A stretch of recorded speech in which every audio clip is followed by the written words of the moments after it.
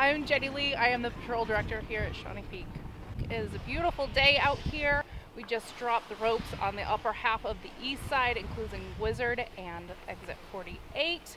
Exit 48 is actually named after Exit 48 on the main turnpike.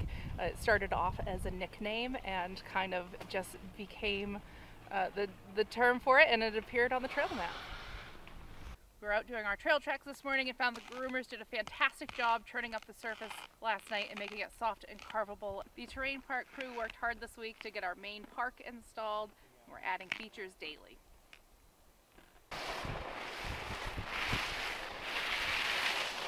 My kids grew up here. I love skiing here.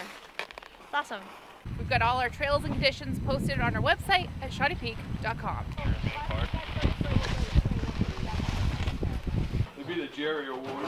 People don't mind a little wood fiber in their uh, bread, do they? Nope. Hey, it's fiber.